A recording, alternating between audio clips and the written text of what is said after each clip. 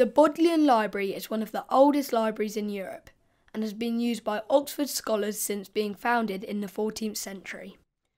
Some of its most precious books include Shakespeare's First Folio from 1623 and one of the only 21 surviving copies of a Gutenberg Bible dated 1455.